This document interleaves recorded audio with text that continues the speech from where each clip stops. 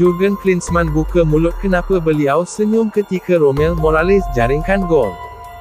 Ia menjadi perbualan hangat bukan saja di Malaysia malah di Korea Selatan. Hal ini kerana, majoriti penyokong pahlawan Taeguk begitu kecewa apabila pasukan kendalian Jurgen Klinsmann gagal menewaskan Harimau Malaya. Mereka berpendapat yang Klinsmann tidak serius dalam usaha untuk memastikan Korea Selatan menjadi juara kumpulan E. Malah, pada perlawanan tersebut, dia dilihat bersantai-santai saja di bangku simpanan.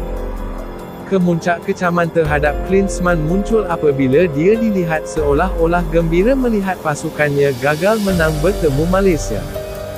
Hal ini kerana, ketika Romel Morales menjaringkan gol penyamaan pada masa tambahan separuh masa kedua, Klinsmann dilihat tersenyum melihat detik indah Harimau Malaya itu.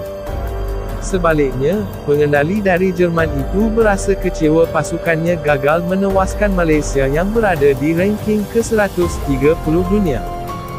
Saya bukan tersenyum kerana kami berjaya mengelak daripada bertemu Jepun di pusingan 16 pasukan terbaik.